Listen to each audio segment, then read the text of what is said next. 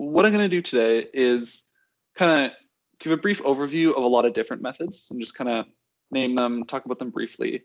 And then I'm going to dive into decision trees, support vector machines, and neural networks.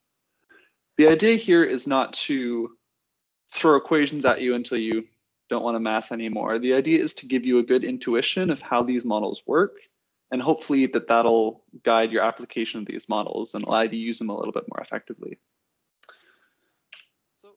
Let's hop into it. We're going to start with an overview of some supervised learning algorithms.